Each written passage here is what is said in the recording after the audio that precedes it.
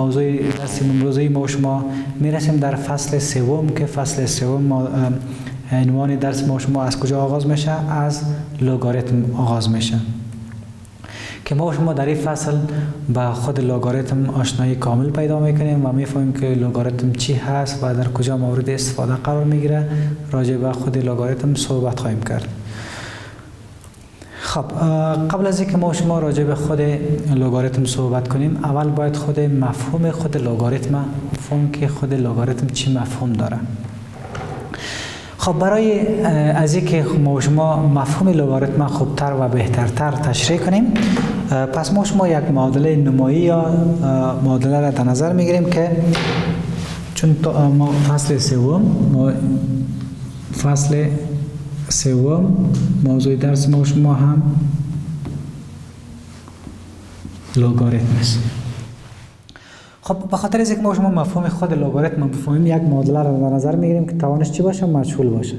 پس 4 4 و توان x مساوی به 16 خب اگر در این معادله ما شما خواسته باشیم قیمت x پیدا کنیم پس در صورت ما صرف می‌تونیم که از طاقت استفاده کنیم که چی کنیم قیمت x پیدا کنیم. اما در بعضی حالات ما نمی‌تونیم که بعضی از مواردی هست که ما نمی‌تونیم که او را به شکل طاقت تبدیل کنیم و قیمت x در اینجا پیدا کنیم. در این معادله ما می‌تونیم که این را به این صورت نشته کنیم که 4 به توان x مساوی میشه با 4 به توان 2 چون قاعده ها مساوی هست پس حتما چی است؟ توان ها هم مساوی است. پس در این حالت x مساوی به چند میشه؟ x مساوی به 2 میشه. خب وقتی که x مساوی به دو میشه پس در این صورت این رابطه ما یا این معادله ما صرف در x مساوی به دو چی می‌کنه؟ صدق می‌کنه این معادله را پس ما شما در صورتی که اگر ما شما نتانیم که با استفاده از طاقت قیمت از x یا توان مجهول ما شما دریافت کنیم پس در صورت چیکار می‌تونیم دریافت کنیم؟ پس ما می‌تونیم این را با استفاده از لوگاریتم چیکار کنیم؟ این را دریافت کنیم. خب وقتی که ما این را به شکل لوگاریتم نوشته کنیم پس در این صورت این را ما شما چون تابع exponential یا تابع نمایی هست پس ما این را می‌تونیم که به شکل تعادلش این را تبدیل کنیم یا به شکل تعادل یا به شکل معادلش تبدیل کنیم که شکل معادل از که است ما شما می‌تونیم این را به شکل لوگاریتمی تبدیل کنیم. وقتی که به شکل لوگاریتمی تبدیل کنیم پس در صورت x مساوی میشه بعد در اینجا یک لوگاریتم اضافه میشه لوگاریتم اضافه میشه. پس اینی 16 به حیث عدد لوگاریتمی و اینی 4 میره به حیث قاعده عدد لوگاریتمی قرار می‌گیره. پس در صورت وقتی که ما این را ساده کنیم پس در صورت x مساوی میشه به لوگاریتم 16 را ما می‌تونیم بگیریم که 4 مربع با قاعده چند؟ قاعده 4 ما شما بعدا خود وقتی که قوانین خود لوگاریتم خواندیم باز در قوانین لوگاریتم بر ما شما میگه که توان ضرب چی میشه؟ ضریب میشه. پس میشه دو لوگاریتم 4 با قاعده چند؟ با قاعده 4 میشه.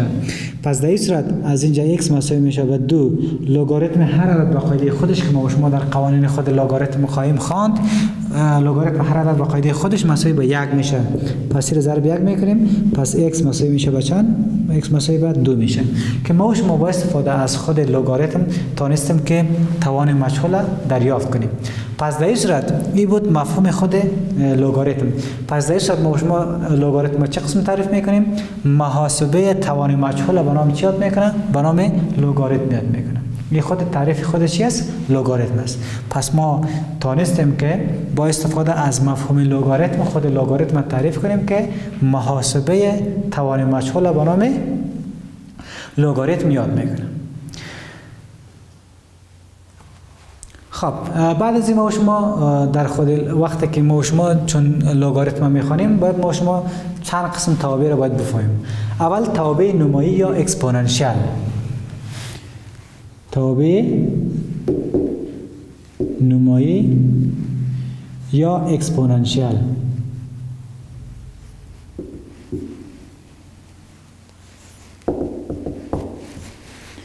خب تابع نمایی یا exponential چه قسم؟ یک تابع است. تابع نمایی؟ گفته از یک مقدار ثابت a و یک, یک متغیر x به صورت توان تشکیل شده است. که او را به صورت چی نشان میده؟ به صورت y مساوی به a به توان x. این خودش یک تابع چی است؟ تابع نمایی یا تابع exponential بر ما شما نشان میده که در اینجا ما شما در این تابع که است گفته که باید a ما شما خلاف صفر باشه و a بزرگ از صفر باشه و همچنان a ما باید خلاف یک باشه. این قاعده یک نماشه. چون ما شما در قانون طاقت خوانده بودیم یک به توان هر عدد پس دوباره خود عدد یک است. پس به این خاطر در اینجا ما شما شرط داریم که ای ما باید بزرگتر از صفر باشه یعنی منفی شده نمی‌تونه یعنی می قاعده. و همچنان ای ما باید چی باشه؟ خلاف یک باشه. باید استثناء یک هر عدد می‌تونه شود پس می‌تونه در بین صفر و یک قیمت بگیره و همچنان از یک بزرگتر هم قیمت گرفته می‌تونه اما خود یک ای قیمت گرفته نمی‌تونه باید ای ما چی باشه؟ خلاف یک باشه و همچنان بزرگتر از چی باشه؟ صفر باشه. هم عدد مثبت باشه و هم خلاف چی باشه؟ یک باشه. با استثناء یک به هر عدد مثبت می‌تونه یعنی ای به خود قیمت بگیره در غیر از دیگه عدد منفی هم به خود قیمت گرفته نمی‌تونه. خب البته خود تابع نمایی چی هست؟ گفته تابع نمایی نشان دهنده نرخ‌های ثابت برای رشد ناپیوسته است. رشد ناپیوسته خود رشد ناپیوسته چی است میگه رشد ناپیوسته رشدی است که در فواصل گذشته و در پایان هر سال یا دوره ایجاد می شود در پایان هر سال یا در پایان هر دوره چی میشه؟ ایجاد میشه. این تابع که است زیادتر در مسائل اقتصادی چون مانند فرزن روب مرکب تنزیل استهلاک و غیره چی میشه؟ استفاده میشه. همین خود تابع نمایی یا تابع exponential مثلا نرخ ربح مرکب یک یک بانک تجارتی سالانه چی است؟ 10 فیصد می باشد. اگر شخص یک مبلغ را در ابتدای سال در این بانک تحویل دهد در اخیر سال سرمایه وی به اندازه 10 فیصد چی می‌کنه رشد پیدا می‌کنه این رشد با گذشت زمان ایجاد نشده بلکه در یک دوره یا در یک سال چی شده؟ با وجود آمده. پس به این خاطر این تابع نمایی در این مسائل زیادتر کاربرد داره و ما شما از تابع نمایی در, در این مسائل استفاده می‌کنیم. خب بعد از ما شما دو قسم تابع نمایی داریم. یک تابع نمایی طبیعی داریم. تابع نمایی طبیعی چه قسم یک تابع هست؟ میگه یک تابع نمایی طبیعی دارای قاعده عدد اویلر است. تابع نمایی قاعده که تابعی که قاعده از عدد اویلر باشه او را به نام چی می‌کنه به نام تابع نمایی طبیعی یاد می‌کنه. خب عدد اویلر حال برتان سوال مطرح میشه که عدد اویلر چی هست؟ خب عدد اویلر است به این نشان داده میشه.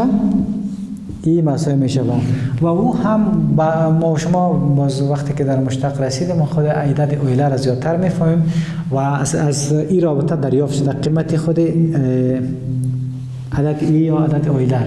اویلر یک شخص یا یک عالم و ریاضیدانی بود که قیمت ای را به دست آورد. و ای و ای را به نام خود چکار کرد؟ مسما ساخت. از کدام رابطه ای را دست آورد از رابطه که لیمیتی که اکسش تقرب به ای کنه. یک منفی یک بر x. کل بر توانی x. از این رابطه قیمت ای را به دست آورده که این مساوی شده به دو اشاریه هفت یک هشت یک هشت دو هشت. خب این یک عدد اشاری چی است؟ نامحدود است که همیشه این یک قیمت ثابت داره که قیمت ثابت از این مساوی میشه به دو اشاریه هفت یک هشت یک هشت دو هشت و غیره. درست است؟ یعنی در حقیقت اشاری از امتداد داره یا ادامه داره؟ بین حد ادامه داره. یک عدد اشاری چی است؟ نامحدود است. که از رابطه لیمیت که اکسش تقارب به ای کنه یک منفی یک بر اکس کل به نمای اکس چی شده؟ به وجود آمده. این از این رابطه به دست آورده و این به نام خود مسمى ساخته که حال به نام عدد اویلر یاد می‌کنه خب تابع نمای تابع نرخ ثابت رشد پیوسته را چی می‌کنه؟ نشان میده. خب حال بعد از ما شما تابع لوگاریتمی داریم. یک تابع نمایی ما شما گفتیم به چند قسم است. یک تابع نمایی طبیعی و دیگر تابع چی هست لوگاریتمی؟ حالا می‌بینیم که تابع لوگاریتمی چی هست.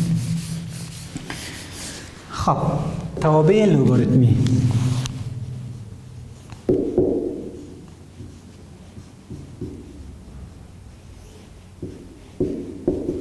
خب تابع لوگاریتمی چه قسم یک تابع است؟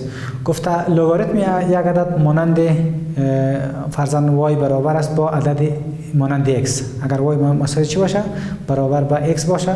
اگر قاعده لگاریتم a به توان x برسد عدد اولیه y چی میشه؟ به دست میه خب برای لگاریتم معمولی ما شما لگاریتم معمولی ما شما داریم که هر لگاریتم که قاعده نداشت قاعدهش عدد چی است؟ قاعدهش عدد ده است که ما شما باز در انواع لگاریتم را می‌خوانیم خب ما شما به این صورت نشتا می‌کنیم که لگاریتم فرزند ده خب یا ما شما داشته باشیم که لگاریتم y مساوی میشه با لگاریتم فرزند x به قاعده a پس اینی تابع را به نام تابع چی یاد می‌کنن؟ به نام تابع لگاریتمی یاد می‌کنن. که x مجهول است در اینجا یا متحول مستقل است و y متحول وابسته یا تابع هست و a هم قاعده یا عدد ثابت بر ما شما چی می‌کنن؟ نشان میده. خب فرضاً اگر ما شما داشته باشیم که ده مربع مساوی به چند است 100 است. وقتی خواسته باشیم میره به شکل معادلش یا به شکل لگاریتمی تبدیل کنیم. پس در صورت ما شما اتنشتا کرده می‌تونیم که لگاریتم 100 با قاعده دو مساوی میشه با. بازی رو میخواییم که میشه لگاریتم البته لگاریتم 100 با قاعده ده مساوی میشه با ده به توان دو با قاعده ده این مساوی میشه با چند مساوی با دو میشه. خب از این صورت ما به این خاطر نشتا می‌کنیم که به توان دو مساوی به چند میشه؟ 100 میشه. وقتی که به توان دو مساوی به 100 شود پس لگاریتم 100 به قاعده ده هم مساوی میشه به چند؟ مساوی به دو. کی رو به نام لگاریتم معمولی یاد می‌کنیم خب در اینجا مثال به خاطر از که ما شما رابطه بین زمین تابع لگاریتمی و تابع طبیعی و میره بفهمیم یک مثال در نظر می‌گیریم که مثال گفته تابع نمای زیر را با تابع لگاریتمی آن تبدیل کنیم خب مثال هست که تابع نمای زیر را تابع نمای زیر را به شکل لوگاریتم به شکل تابع لوگاریتمی آن تبدیل نمایید. خب تابع نمایی بر ما ما داده شده که ده و توانی یک مساوی میشه به ده. این ما ما چطور می‌تونیم که به شکل لوگاریتمی تبدیل کنیم؟ خب ببینین عدد یک عدد یک خودش نشته میشه. اینی ده میره به حیث قاعده قرار می‌گیره. پس یک نشته میشه مساوی میشه به لوگاریتم ده با قاعده چند؟ قاعده ده. یعنی این تا ای چی بود؟ تابع نمایی بود. ما با شکل تابع تبدیل کردیم؟ به شکل تابع لوگاریتمی یا اگر ما شما داشته باشیم که 4 به توان دو 4 به توان دو مساوی میشه به چند؟ 16 و می‌فهمیم که 4 مربع شده چند میشه؟ 16 میشه. پس از اینجا ما شما در نتیجه وقتی که به شکل لوگاریتمی از این چیکار کنیم؟ تبدیل کنیم. پس گفتیم که اینی 4 میره به حیث قاعده قرار می‌گیره و این دو می نوشته میشه که دو مساوی میشه یک لوگاریتم در اینجا اضافه می‌کنیم. یعنی 16 به حیث عدد لوگاریتمی و یعنی 4 به حیث قاعده عدد لوگاریتم چه قاعده لوگاریتم قرار می‌گیره. پس در این صورت 4 به توان 2 مساوی میشه به 16 از اینجا نتیجه میشه که 2 مساوی میشه به لوگاریتم 16 به قاعده چند؟ به قاعده 4 میشه. که ما این ای تابع است نمایی است و این هم چی است لوگاریتمی است که ما شما تابع نمایی رو می‌تونیم به شکل تابع لوگاریتمی همچنان تابع لوگاریتمی رو به شکل تابع چی؟ نمایی تبدیل کنیم. و همچنان اگر ما شما داشته باشیم که ده به توان منفی یک ده به توان منفی یک مساوی میشه به چند؟ یک بر ده. یک بر چند یک بر ده. پس در صورت یا یک بر ده وقتی که یک تقسیم بر ده کنیم صفر اشاره چند میشه؟ صفر اشاره یک میشه. پس وقتی که ما شما این را خواسته باشیم به شکل عدد لوگاریتمی تبدیل کنیم پس از اینجا داریم که ده به توان منفی یک مساوی میشه با صفر اشاره یک. از اینجا در نتیجه یعنی منفی یک مساوی میشه با لوگاریتم صفر اشاره یک در حالت خودش. یعنی ده به حیث چی قرار می‌گیره به حیث قاعده. پس یعنی لوگاریتم صفر اشاره یک به قاعده ده مساوی به چند میشه؟ مساوی به منفی یک میشه. و یا اگر ما شما داشته باشیم که دو به توانی پنج دو به توان پنج ما شما قبلا خوانده بودیم که مساوی به چند میشه؟ سی و دو میشه.